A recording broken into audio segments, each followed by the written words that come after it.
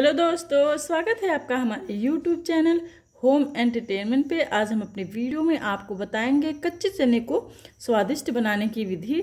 आप डेली खाते हैं भीगे हुए चने तो उसे कैसे स्वादिष्ट बना सकते हैं और स्वाद लेके खा सकते हैं, ये हम आपको आज इस वीडियो में बताएँगे।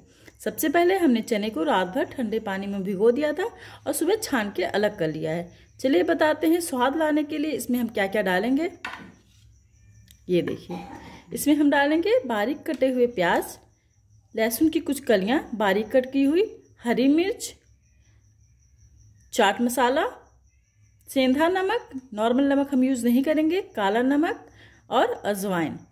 अब हम आपको बताते हैं कि हम जो डेली हम खाते हैं नमक वो क्यों नहीं यूज़ कर, क्योंकि अगर कोई बीपी का पेशेंट है तो कच्चा नमक खाएगा तो उसे नुकसान करता है, लेकिन अगर बीपी का पेशेंट सेंधा नमक खाता है तो उसे नुकसान नहीं करता।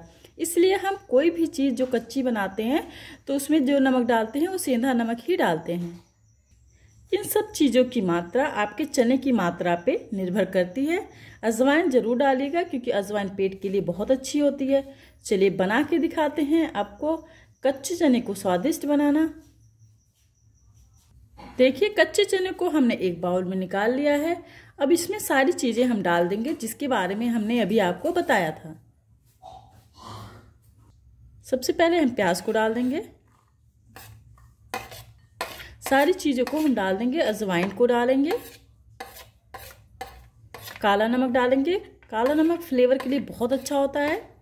अब हम डालेंगे सेंधा नमक और चाट मसाला। आप चाहें, अगर आपके यहाँ चाट मसाला नहीं है तो आप लेमन का यूज़ भी कर सकते हैं। लहसुन की कलियाँ लेमन भी डाल सकते हैं, उसके रस को निचोड़ सकते हैं इसमें, उससे भी स्वाद अच्छा हो जाता है। अब हम डालेंगे ग्रीन चिली। अब इन सब चीज़ों को अच्छे से मिक्स करेंगे। अब मिक्स कैसे करेंगे? चलिए ये दिखाते हैं हम आपको। इस तरह से हम मिक्स करेंगे, हाथों से बिल्कुल नहीं करेंगे। इस तरह से सारी चीज़ें अच्छे से मिक्स हो जाती हैं और हमें हाथ या चम्मच किसी चीज़ की ज़रूरत नहीं पड़ती इसे मिक्स करने में। बस खाने में ज़रूरत पड़ेगी चम्मच की। अगर आप चाहें तो इसमें धनिया के पत्ते का यूज़ भी कर सकते हैं, और अगर नहीं पसंद है तो मत करिएगा। ये आपकी चॉइस है, आपको यूज़ करना है या नहीं करना है। देखिए रेडी है हमारे।